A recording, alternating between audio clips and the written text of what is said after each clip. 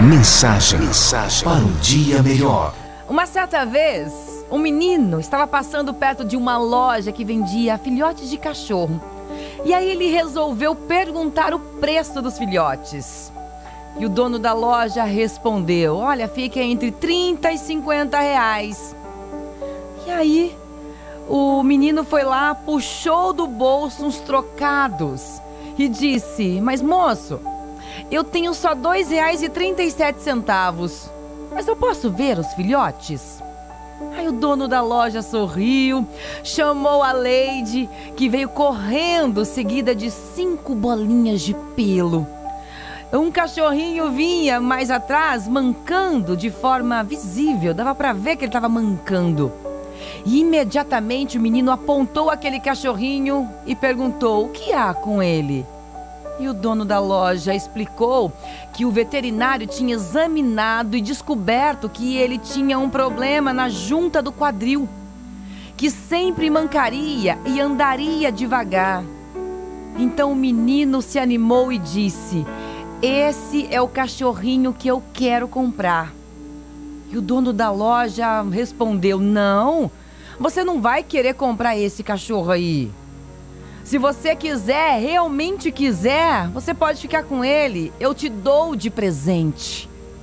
E o menino ficou transformado, transtornado e ficou olhando bem para a cara do dono da loja.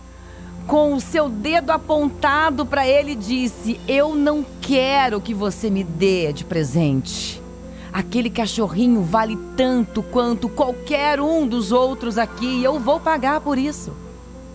Na verdade, eu vou te dar os meus R$ 2,37 agora e depois eu te dou 50 centavos por mês, até completar o preço total, tá bom?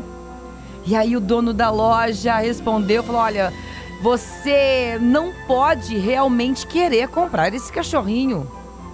E ele foi lá e respondeu: "Eu quero ficar com este cachorro".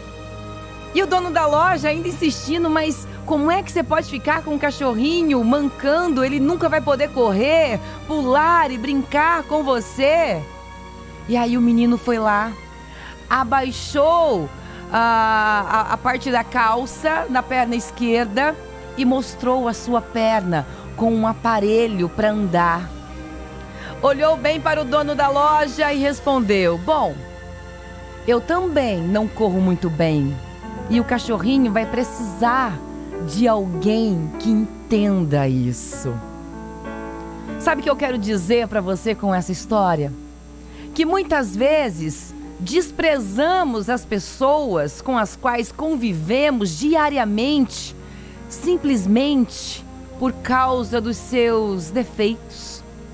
Quando na verdade somos tão iguais ou pior do que elas e sabemos que essas pessoas precisam apenas de alguém que as compreendam e as ame, não pelo que elas podem fazer, mas pelo que são. E essa é a reflexão que eu quero deixar para você hoje. Pense nisso. Mensagem, mensagem para um dia melhor.